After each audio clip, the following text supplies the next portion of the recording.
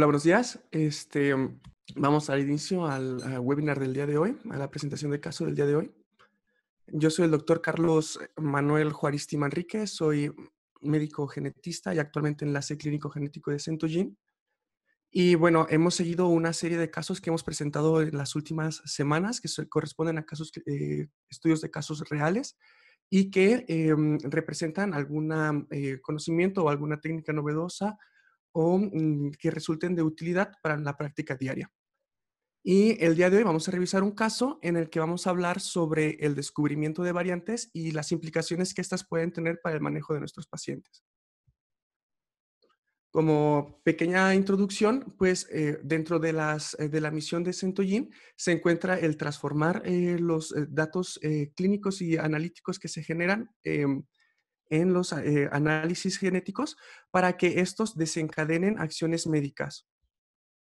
Y en el caso que, vamos a revisar, además de hacer la presentación del caso, vamos a ver un poco sobre la herramienta que se utilizó, que en este caso fue secuenciación de exoma completo y eh, algunas lecciones que hemos aprendido de la secuenciación del exoma completo.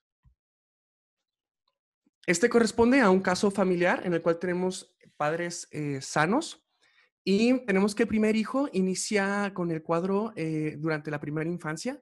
Los padres refieren que los primeros tres años del desarrollo, el desarrollo mental y el desarrollo físico fue normal pero posteriormente a este periodo, el niño comienza a desarrollar un cuadro de ataxia cerebelosa acompañado por diplopia, disartria, dificultades de la marcha, estados eh, intermitentes de disminución del estado de alerta, disfagia y deterioro cognitivo.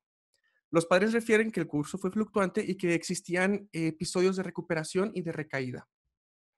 Desafortunadamente, el paciente fallece a los seis años de edad, secundario un cuadro de asfixia, y al momento de la anamnesis habían pasado más de 15 años, por lo tanto no se disponían de registros médicos detallados ni tampoco se podían obtener muestras de DNA de este paciente. Posteriormente, la familia tuvo otros hijos y em, eh, las eh, dos hijas más pequeñas eh, resultaron afectadas. la segunda paciente correspondía a una femenino que inicia un cuadro a los 22 años de edad con cefalea intermitente, alteraciones visuales y del habla específicos que iban acompañados de un cuadro depresivo, por lo tanto al principio se creyó que estaban relacionados con el cuadro depresivo, pero que este progresó rápidamente con deterioro cognitivo, confusión, eh, se acompañó de estrabismo, nistagmo evocado de la, eh, de la, mirada, espasticidad de las cuatro extremidades, recaídas de cuadros febriles de origen oscuro y crisis convulsivas que eran refractarias al tratamiento eh, anticonvulsivo. Y la evolución fue tal que la paciente requirió internamiento en la unidad de cuidados intensivos durante varios meses. requirió realizarse traqueotomía y gastrostomía y durante el abordaje se solicitó una biopsia muscular en el cual no se encontraron signos de disfunción mitocondrial. También se, tomó la determinación de lactato en líquido cefalorraquídeo y, y y también se encontraban dentro de mm, rangos normales. Y dentro del abordaje también se solicitó una eh, resonancia magnética cerebral y espinal en el cual no había anomalías y en el examen de oftalmoscopía mm, tampoco se encontraron alteraciones. Eh, la tercera paciente correspondió a un femenino de 20 años de edad que cursa con cuadros de ataxia mm, cerebelosa a partir de los 20 años de edad de forma eh, intermitente. Estos cuadros remitían por completo pasado hace algunas semanas. Llama la atención que el segundo episodio fue desencadenado después del consumo de tetrahidrocannabinol. Cuatro meses posterior a este se presenta otra recaída en la cual eh, se acompaña de deterioro cognitivo, eh, de coria y mioclonos leves. Y 15 meses después encontramos que, posterior al consumo de alcohol, la paciente desarrolla un cuadro de psicosis orgánica con alucinaciones visuales y acústicas, delirio, ansiedad, alteraciones del comportamiento, estupor catatónico intermitente y estados comatosos intermitentes. Durante el abordaje igual se realizó una resonancia magnética cerebral que resultó normal eh, dentro de la sospecha diagnóstica se mm, creyó o se sospechó de la enfermedad por eh, cuerpos de la fora, eh, por lo que se realizó una biopsia con condición de SIFT y no se revelaron cuerpos de la fora, por lo que no se pudo confirmar este diagnóstico. Y lamentablemente la paciente fallece a los 22 años de edad secundaria a una embolia pulmonar. El examen post-mortem confirmó daño cerebral hipóxico grave.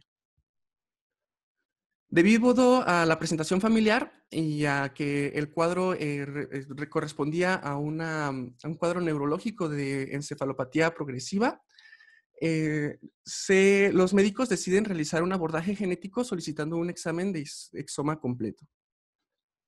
Tenemos que el examen de exoma completo es una herramienta que está basada en tecnología de secuenciación de siguiente generación, que trata de abarcar todas las regiones codificantes para proteína, que están conformadas de los exones y también cubre los límites exon-intron que son importantes para el proceso de maduración de los transcritos antes de, ser este, eh, traducidos.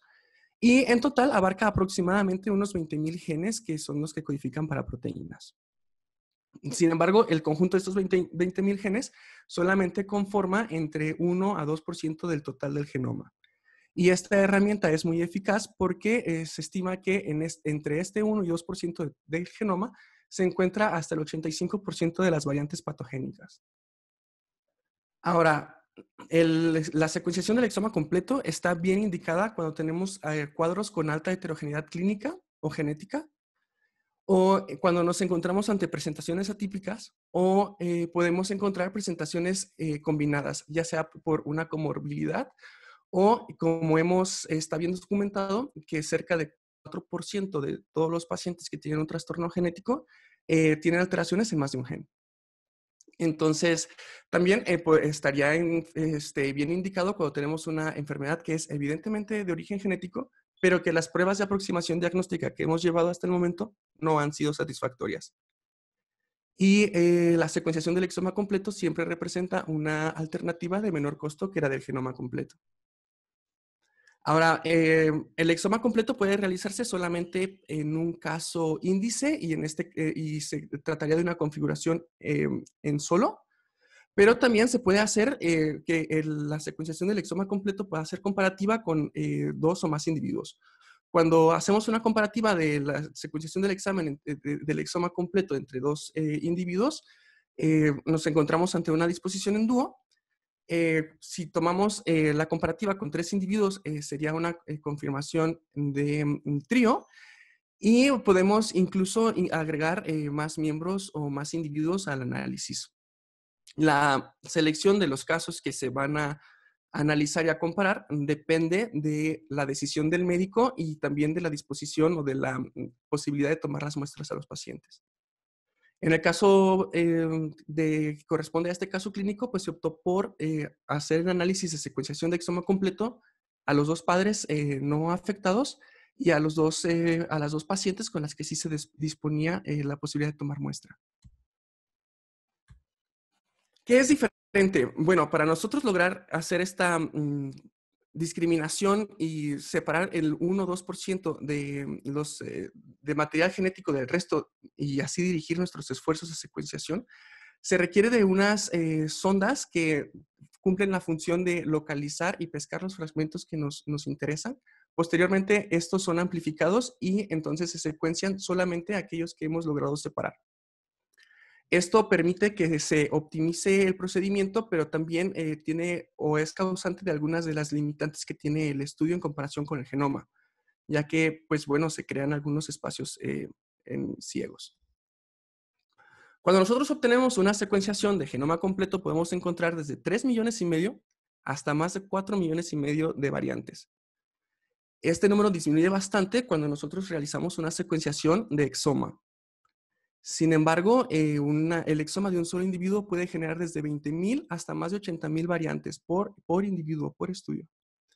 Y lo interesante acá es que nosotros eh, necesitamos discriminar entre una, dos o unas cuantas eh, variantes que sean las causantes del cuadro clínico.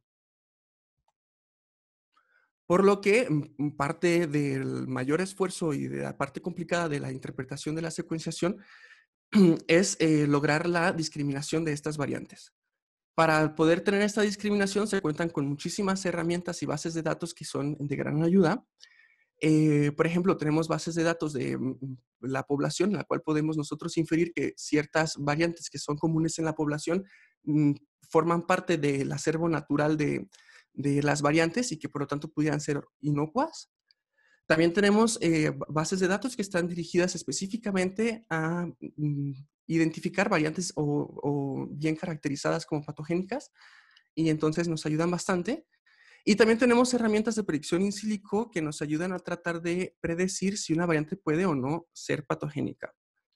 Sin embargo, aún así, debido a la cantidad de variantes que se, que se reconocen en los sistemas bioinformáticos, eh, ya sea tanto en el web eh, como en el genoma e incluso en los paneles de múltiples genes, eh, nos encontraremos invariablemente muchas veces con varias variantes candidatas de las cuales no vamos a poder discriminar. Y a partir de este punto, lo único que nos queda es la información clínica como herramienta para poder hacer esta selección. la, descripción clínica, sin embargo, es muy heterogénea ya que tanto los cuadros o las entidades eh, clínicas eh, son heterogéneas en su presentación. También eh, sabemos que los genes pueden, un mismo gen puede causar varias alteraciones y que muchos genes pueden causar la misma alteración también. Hay una gran heterogeneidad clínica en, muchos, en muchas entidades diagnósticas.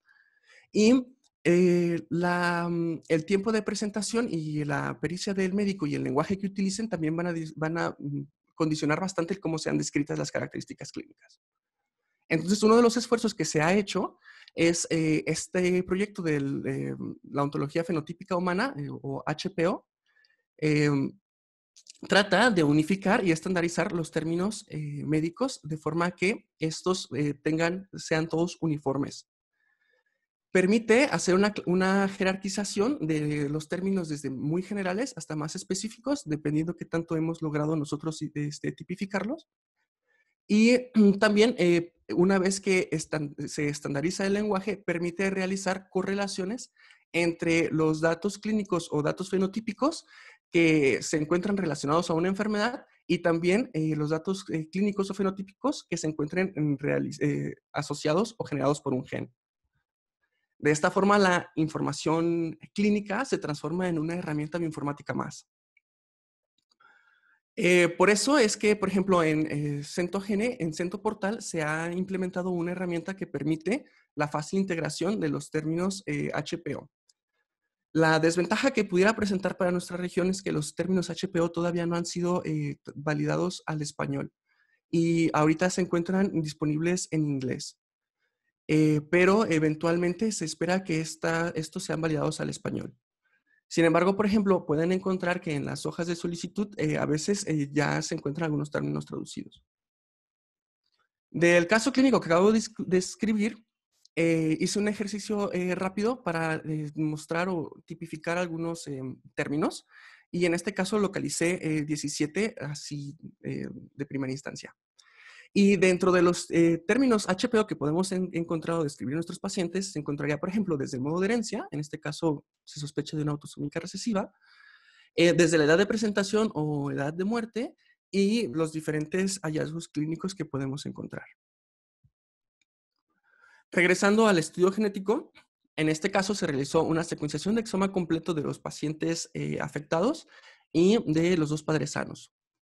El árbol genealógico sugería que se trataba de un patrón de herencia autosómico recesivo y por lo tanto para el filtrado en las eh, plataformas bioinformáticas se eh, jerarquizaron las variantes que contaran con las siguientes características.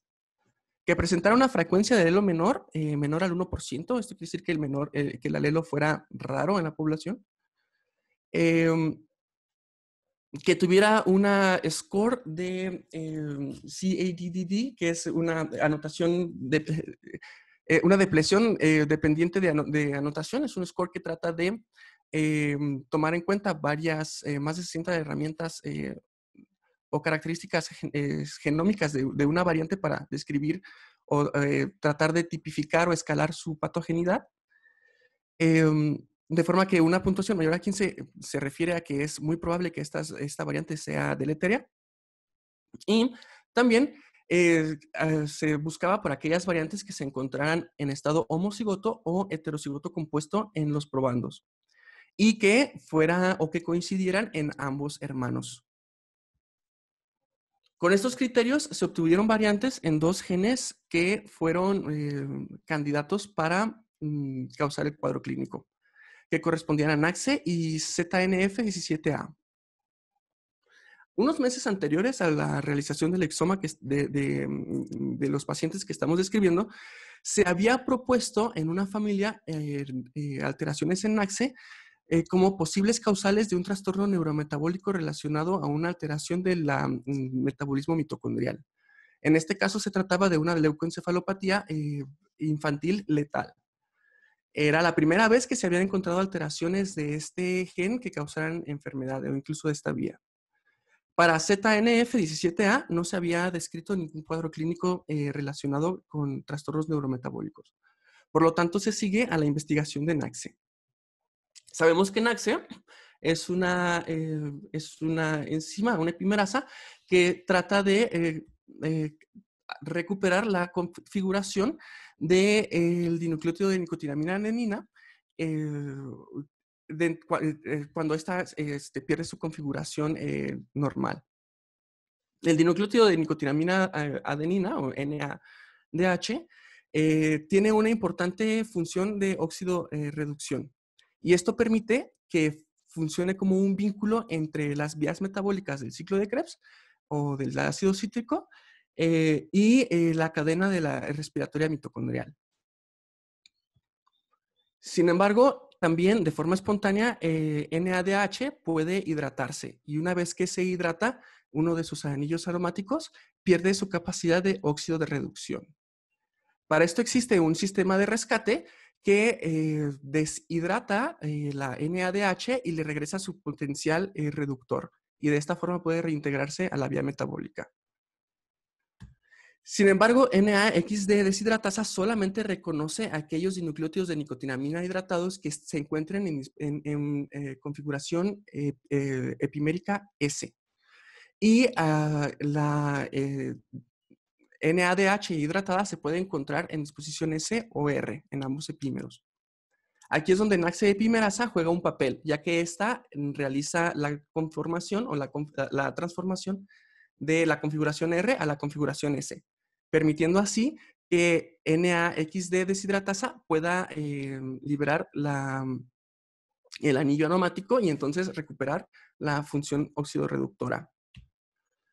No solamente eh, eh, la hidratación y la transformación del dinucleótido a su forma hidratada tiene una función deleteria en la oxidorreducción sino que también se ha visto que estas eh, variantes hidratadas y sobre todo cuando pasan a una tercera configuración que es NADH eh, cíclica, eh, tienen el potencial de inhibir directamente a los complejos que conforman la mm, cadena de respiración mitocondrial, de forma que también tiene un efecto tóxico. Esta transformación o la hidratación es, y, y la epimerización son favorecidas por cambios tanto en el pH como en la temperatura. Entonces, eh, por consiguiente, si tenemos una alteración en NAXE, podemos esperar que este sistema de rescate se encuentre eh, no en óptimas condiciones o depletado. De los resultados del, análisis genético encontramos que eh, se reportan dos variantes en heterocigosis compuesta en los pacientes afectados. Una variante de sustitutiva que ocasiona un cambio de sentido en la proteína. Y una variante que eh, se encuentra en uno de los sitios de corte y empalme que, eh, en, eh, intrónica que mm, se prevé que pueda alterar el sistema de splicing de, la maduración del, R, del RNA, de este heteronuclear al mensajero. Estas dos variantes se fueron confirmadas por Sanger. Y mm, bueno, también pues que los padres se encontraron que cada uno era portador para una de estas variantes. Para tratar de clasificar estas variantes, eh, tenemos que, bueno, sabemos que no se encontraba en las bases de población, que varias herramientas de, predicción in sílico eh, las predicían como deleterias, y también veíamos que se había eh, segregado con los pacientes afectados. El fenotipo no quedaba muy claro porque nada más se habían realizado unas breves descripciones antes de la publicación, antes de la, de la realización del examen de este paciente y por lo tanto no estaba clínicamente bien tipificada. Eh, y también las variantes, eh, pues no se habían visto antes. Entonces, para lograr una clasificación eh, como variantes patogénicas, había que demostrar que las variantes fueran efectivamente deleterias, de forma que se realizaron estudios funcionales. Dentro de las pruebas funcionales que se realizaron, una fue la para determinar si eh, la variante intrónica era efectivamente deleteria. Entonces se realizó retrotranscripción de los RNAs em, mensajeros eh, con unos compuestos que detectaban eh, la expresión del transcrito canónico. Y se vio que los niveles de transcrito canónico, normal se encontraban alterados, disminuidos en los pacientes que estaban o que portaban variantes eh, patogénicas.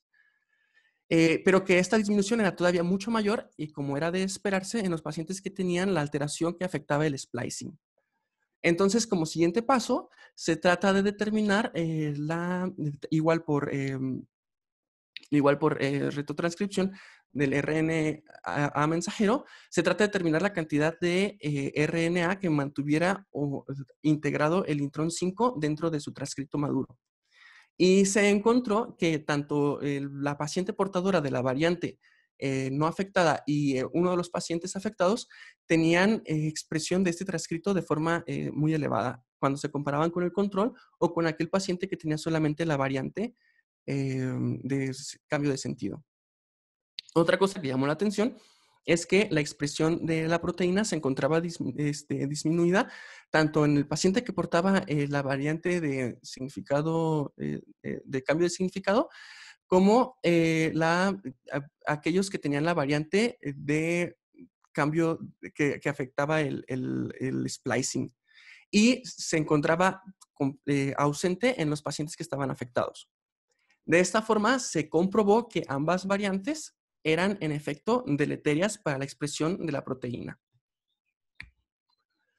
Sin embargo, el hecho de que nosotros demostráramos que las, variantes eran deleterias no quería decir que el efecto deleterio en esta proteína estuviera realmente eh, relacionado con la formación del cuadro. Entonces, aquí se optó por realizar un estudio de replicación en el cual eh, se hace eh, un análisis de un dataset, en este caso, correspondió con el análisis de 4.351 pacientes que se encontraban con un WES previo en la base de datos de Centogene que presentaban trastornos del neurodesarrollo. Y se buscó aquellos que tuvieran presentaciones clínicas similares o variantes en NAXE. Y se localizaron tres familias con pacientes que tenían variantes en NAXE. Y cuando se hace la comparativa y se relaciona con los cuadros clínicos, se encuentran cuadros clínicos similares. También en la literatura se habían descrito, además de estos pacientes que se contaban en la, este, base de datos eh, de Centogene y de los casos eh, que corresponden al caso clínico actual, en la literatura se habían encontrado otros, habían reportado otros ocho pacientes, de forma que se logró crear una muestra de 13 pacientes reportados con alteraciones en este gen. Y eh, basados en la información clínica de las que se disponía, eh, se pudieron encontrar aquellos datos que sobrelapaban entre los eh, individuos y que pudieran ser característicos de los cuadros relacionados con variantes en este gen. Por ejemplo, encontrábamos que la insuficiencia respiratoria se encontraba en 12 de los 13 pacientes o que se reportaban trastornos de movimiento en 6 que había hipotonía muscular en 8 o alteraciones del desarrollo en 9 y que eh, había una correlación entre fiebre y el deterioro clínico en 6 pacientes y también se había observado que fármacos o eh, la fiebre podían ser desencadenantes o empeorar el cuadro clínico. Una cosa que llamaba la atención es que todos los casos clínicos descritos anteriormente, a excepción de los dos que se encuentran en este caso, eh, habían fallecido a edades muy tempranas. Este tipo de tipificación o esta tipificación de, variantes no es un eh, hecho anecdótico. De forma continua se van identificando variantes y se van tipificando eh, variantes que no habían sido bien asociadas a cuadros clínicos o que no se encontraban indexadas en OMIM. Tan solo en, una de las revisiones de la doctora, eh, del doctor Trujillano, de la doctora Bertoli, que se publicó en el 2017, ejemplificaban mm, seis eh, genes que habían sido eh, tipificados o que habían sido ayudados a tipificarse por los análisis clínicos que se realizaban en los, en los análisis, en los estudios de, exoma de, de laboratorio. Y acá es importante que, bueno, eh, debido al sistema de reclasificación continua, estos pacientes que fueron, eh, a los que se les tipificó una nueva variante, o cada vez que se tipifica una nueva variante, un nuevo gen se relaciona con un cuadro clínico, eh, se hace una reclasificación de los pacientes que pudieran ser candidatos, siempre y cuando estos pacientes otorguen el consentimiento informado de que se almacene y se haga uso adicional de los datos. Y además, eh, otra cosa importante que tiene este caso es que debido a que conocemos la vía o tenemos una sospecha de la vía metabólica que está implicada, se pudo hacer una implicación terapéutica. En este caso, mm, se ha propuesto que eh, precursiones de dinucleótido de nicotinamina pueden ayudar a mejorar en los cuadros en los que hay em, afectación de la función mitocondrial o que hay afectación neuronal este, debido a trastornos neurodegenerativos.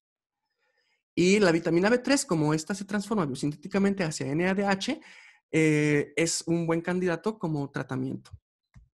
Así que en la paciente se instauró un tratamiento con vitamina B3. Inicialmente se dio 40 miligramos eh, eh, por día, pero posteriormente se aumentó la dosis a 40 miligramos dos veces al día, acompañado también de ubiquinol o coenzima Q10 a 150 miligramos diarios.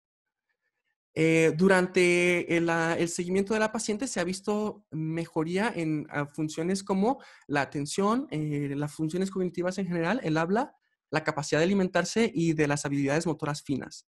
Y también se ha visto que la espasticidad ha mejorado drásticamente. Ya para la última eh, revisión, en el año 2019, en septiembre, eh, se pudo ver que la paciente ya podía usar una silla de ruedas mecánica por su cuenta y cuando se hace la escala de Ashworth modificada para evaluar la espasticidad, se ve que había disminuido a un valor de 1, cuando al principio de evaluación eh, se había eh, escalado como en un valor de 4, ¿no? que quiere decir que es una este, rigidez em, constante contra una leve em, contra una leve restricción al movimiento pasivo. Entonces, bueno, en este caso vemos eh, cómo se ejemplifica, la utilidad eh, diagnóstica de una prueba como el exoma completo. Ahora, durante los últimos años se han tratado de hacer estudios que traten de eh, demostrar la utilidad clínica y de compararla con otras herramientas. En el 2018, Clark hace un metaanálisis importante en el cual eh, analiza 37 estudios distintos publicados desde el 2011 hasta el 2017 y que en estos estudios se, comprenden, eh, más de 20.000 pacientes de entre 0 a 18 años de edad y llega a la conclusión de que la utilidad clínica de la secuenciación de genoma completo comprendía cerca de un 41% en promedio y que la secuenciación del exoma se acercaba al 36% de utilidad diagnóstica y que las em, eh, microarreglos eh, se encontraban en un solo 10% de, las, de, utilidad diagnóstica. Una cosa que llama la atención y que es de esperar es que de forma anual, a partir del 2013 hasta el 2017, que fue cuando se, eh, que era el periodo en el que comprendían los estudios, eh, la utilidad diagnóstica aumentaba en WES y en, genoma 16% de forma anual.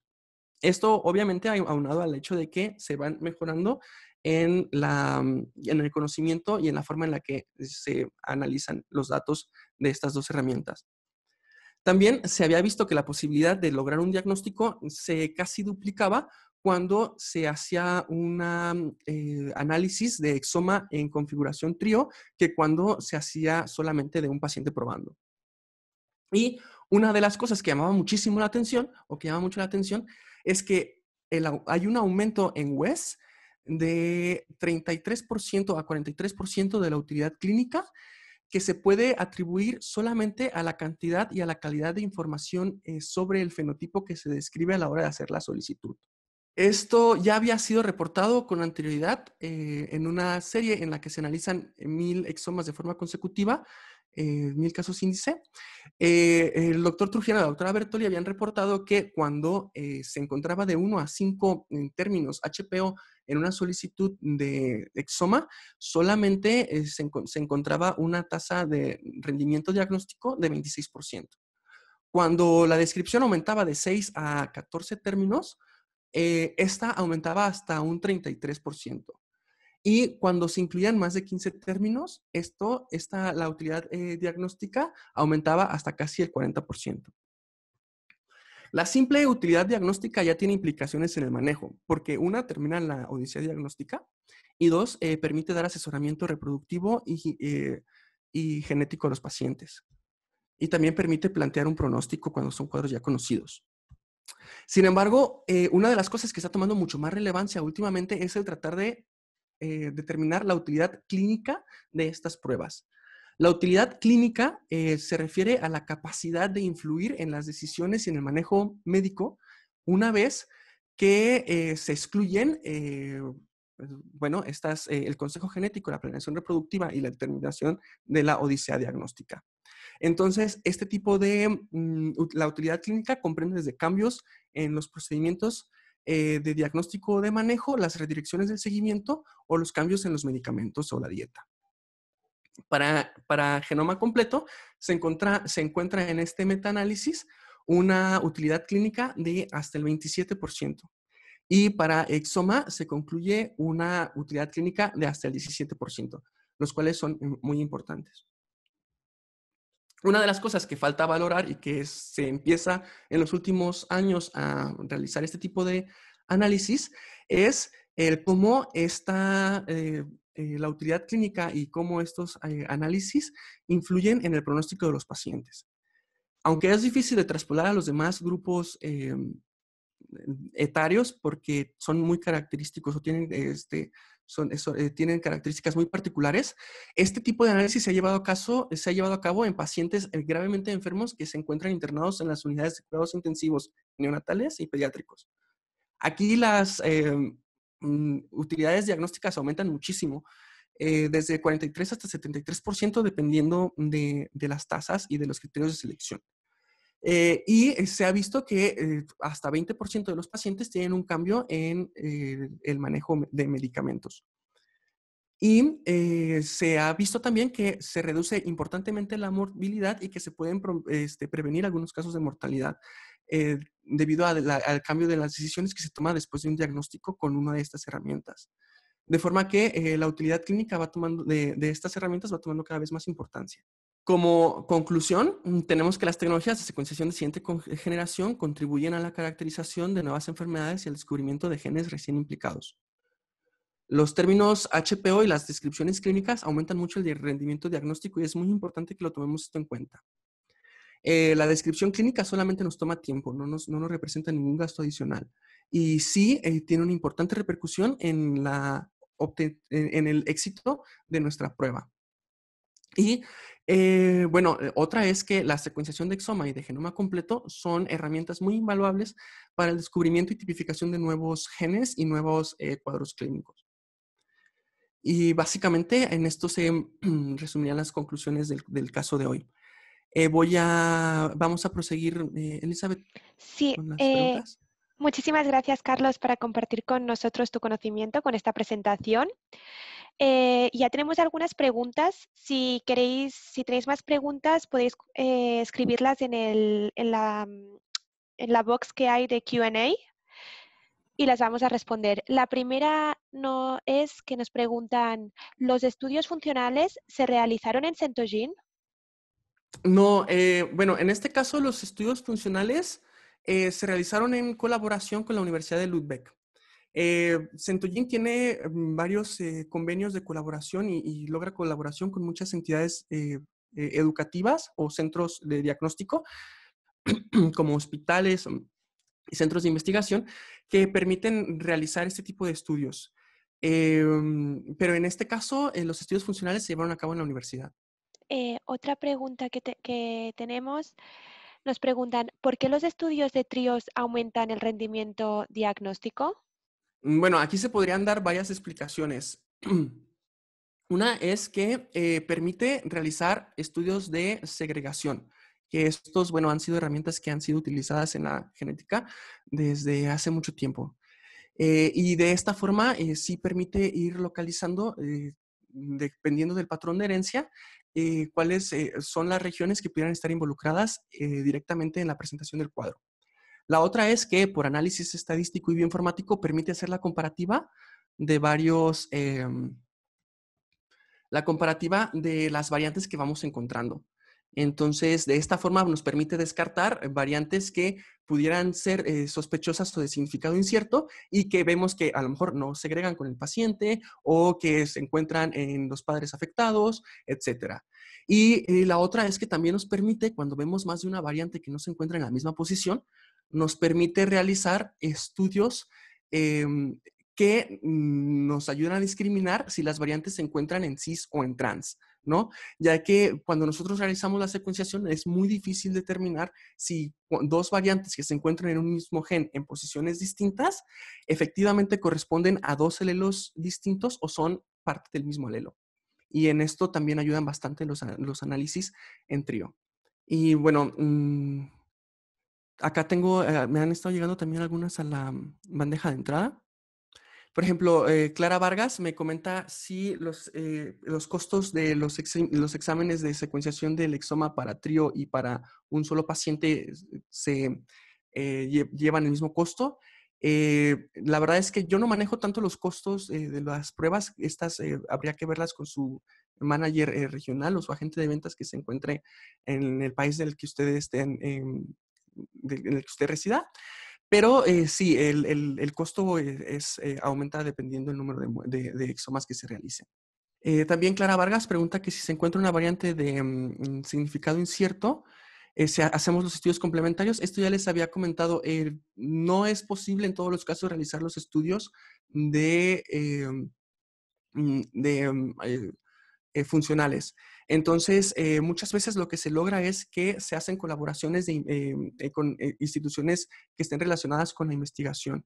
Cuando nosotros podemos hacer estudios funcionales, como es el caso de pruebas enzimáticas o biomarcadores o algunas pruebas que tengamos ya este, y, identificadas en, ya implementadas en el laboratorio, sí las hacemos, por supuesto. y son una herramienta muy invaluable para la clasificación de variantes. Em, Isidro Arevalo Vargas pregunta si el diseño eh, de WES, em, si el diseño de la secuenciación del exoma completo, la parte del enriquecimiento, ¿a qué se refiere? Ah, ok. Bueno, en el exoma lo que pasa es que nosotros para poder distinguir eh, o para poder separar las regiones de interés necesitamos utilizar unas sondas que em, digamos que pescan las regiones de interés, los fragmentos de interés. Estas, eh, una vez que se pescan los fragmentos de interés, hay que separarlos del resto del genoma, ¿no? Eh, eh, y mm, en este caso necesitan, una vez que se pescan estos fragmentos, necesitan amplificarse. A todo ese procedimiento se le llama enriquecimiento. Y este debe realizarse una vez que hacemos WES o que, o sea, exoma completo, o que hacemos paneles multigénicos, o que utilizamos secuenciación de siguiente generación eh, dirigida a un gen o a una región. Em, en estos casos es cuando se debe hacer. Eh, la secuenciación del genoma completo, afortunadamente, no requiere de este proceso de enriquecimiento. El proceso de enriquecimiento es eh, responsable de algunas de las limitantes propias del método ya que, bueno, una genera puntos ciegos y dos, la amplificación puede crear em, algunas eh, eh, inconsistencias o irregularidades. Eh, si usted, Clara, se encuentra en Colombia, em, sería cuestión de, comunicarse con em, la doctora, con la doctora Diana Torres. Y los términos HPO, bueno, estos están ya bien implementados. Eh, los términos HPO eh, se pueden encontrar directamente en la página del Human Phenotype Ontology eh, y en, en cuando se hace la solicitud, viene en la descripción clínica, también se pueden agregar ahí los términos HPO. Em, y bueno, desde Ecuador, Ariadne Llanos pregunta que, em, bueno, menciona que las pruebas em, funcionales no son incluidas en el exoma como producto, sino en parte de la, investigación. Eso así es. Em, ¿Qué determina que se incluya un caso eh, en, el diseño de estudios funcionales? Eh, bueno, acá mm, muchas veces lo que determina esto es el interés de las personas que están involucradas en el caso eh, en lograr una colaboración y en tratar de delucidar más allá de lo que se ha reportado, como en estos casos es que se logró la colaboración con la universidad. si ustedes tienen casos que les resulten relevantes y que quieran mm, investigarlos, eh, o colaborar con nosotros, eh, lo que pueden hacer es eh, mandar un correo electrónico, ya sea a sus gerentes regionales de cada uno de sus países, pueden enviármelo a mí o pueden enviarlo directamente a Customer Support. Y ya de ahí este, vamos, podríamos dar seguimiento y podríamos lograr que se haga este, este, algún convenio de investigación, etcétera. O de publicación también. aprovechando el espacio, invitarlos también que en caso de que ustedes tengan algunos casos interesantes que quieran publicar o que quieran presentar en algún evento, eh, también pueden eh, contactarnos y, contar con nuestra colaboración.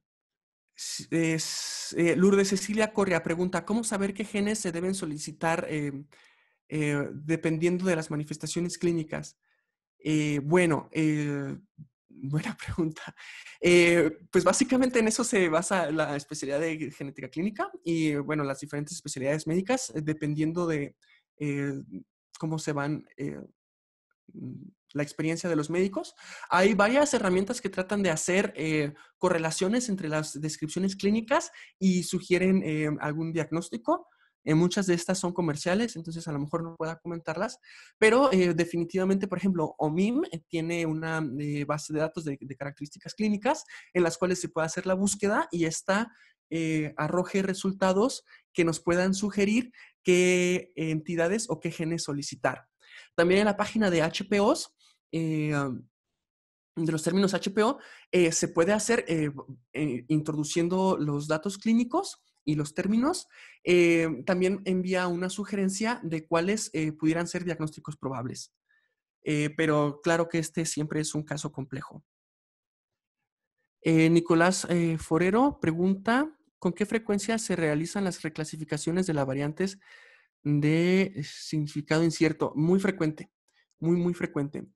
Em, de hecho, se estima que de las variantes, eh, a lo largo de los eh, eh, próximos años, por ejemplo, aquellas variantes que son de, de significado probablemente patogénicas, a lo largo de las siguientes décadas pudiera ser que este, hasta 10% de estas variantes puedan ser reclasificadas. así que, bueno, es un escenario bastante, bastante frecuente. lo que se ha visto es que sobre todo en variantes que han sido reportadas en estudios en los que, digamos que se hacía una descripción clínica y después se buscaba una mutación de forma dirigida que era como antes, debido a las limitaciones técnicas, eh, se realizaban las determinaciones de ciertas variantes. Eh, ese es principalmente los casos que se han reclasificado. Ya ahora que se ha estandarizado mucho las herramientas informáticas y, eh, y se han estandarizado también la forma en la que se tipifican las, las variantes, estas reclasificaciones son cada vez mucho menos frecuentes. Bueno, Carlos, creo que ya estamos para finalizar. Una vez más, muchas gracias para compartir con nosotros esta presentación y muchas gracias a todos los participantes para unirse a este estudio de caso. Esperemos que les haya sido de gran utilidad y bueno, ahora vamos a lanzar una encuesta para saber vuestro feedback acerca del webinar y también comentaros que el miércoles de la semana que viene vamos a tener otro estudio de caso acerca del cáncer de mama hereditario. Estáis bienvenidos a, a participar. Que tengáis un feliz día.